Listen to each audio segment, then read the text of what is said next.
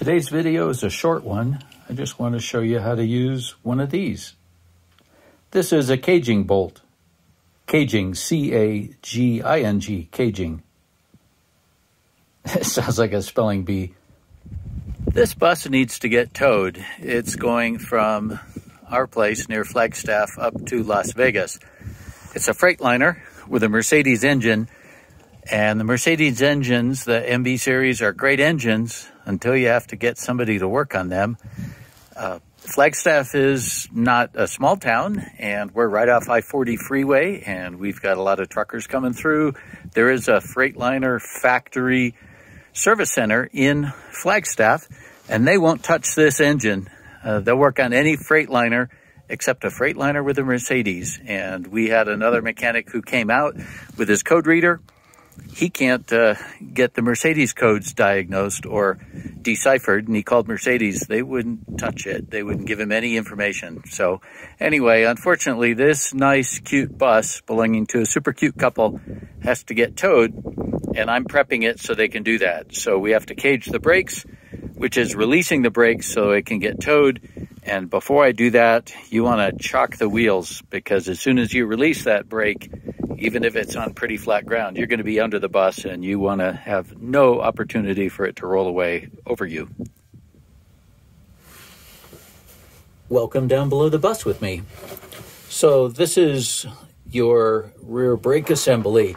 This is a spring brake and this one has a big ass heavy spring in here that is pushing on the rod and that rod or shaft down there pushes on the slack adjuster, that vertical arm that rotates around that bolt or pin that goes through to an S-cam, and that's what spreads your uh, brake shoes apart inside the brake drum, which you can just barely see back there. So anyway, right now the brake is applied because there's no pressure here. So the beauty of modern spring brakes is, is if you lose pressure, air pressure in your bus, that air pressure goes away. I mean, it leaks out, and the spring then will push that shaft back, applying your rear brakes. These are only on the back of your bus. And then when you push the knob up front to release your brakes, what you're actually doing is filling this canister with air pressure on this side, which pushes back against the spring and releases your brakes. And then when you apply the brakes, that air pressure then pushes the shaft back, but the spring is held back, restrained by that air pressure. But right now, this bus doesn't run, and we have to tow it. And so we need to do what's called caging the brakes, which is pulling that shaft and this whole plunger assembly in there back against the spring. You cannot get in this side of the brake assembly. This is crimped on permanently on modern spring brake cylinders. But on the old ones, they had a band clamp on this side, just like that side. And if you took this off, there's enough force in that spring, enough energy to potentially kill you. So now they crimp them on permanently. Just be real careful if you're ever working on an old bus and it's got two clamps on here. You never want to take off the clamp on this side. So we've got to get something in this hole. Normally they have a rubber plug in them, but these are missing. And it's called that caging bolt. And that caging bolt is what I showed you on the bench in there. When I go pick up a bus, I always take a couple caging bolts with me because I don't know if they're actually present. But in this case, they are here and they're mounted on the side of the can or cylinder here. But they get used and sometimes they're not replaced. So let me show you how that works. I'm going to use the one that's on the brake here because it is going to go away with the tow truck when they come. So before you can move the bus around on your own property, you got to cage the brakes. You can either apply air pressure, and often on your bus there will be a fitting somewhere where you can put an air hose, or you cage the brakes like this and then you can roll it around, but you got no braking. So anyway, that's just stored in here. See, that's the same thing that I had And it goes in this end here. And you got to play with it to get it in the slot.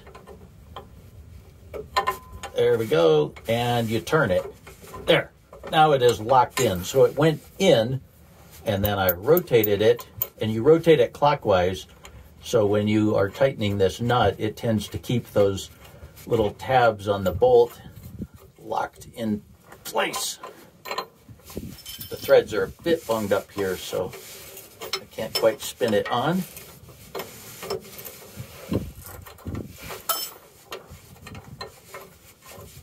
Now your front brakes don't have these. Your front brakes only have a single air hose and a single chamber.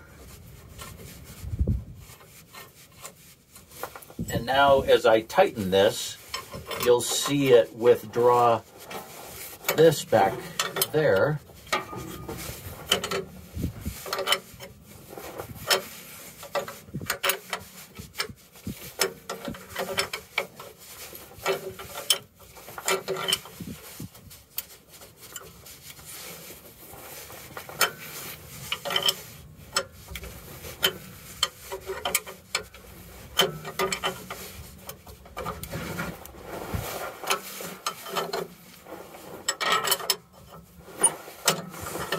Takes a bit of force.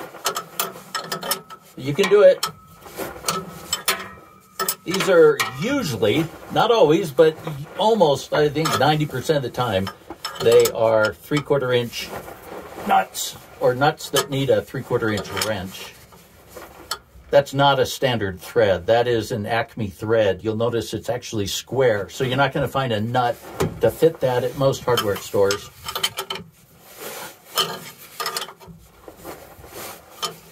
All right.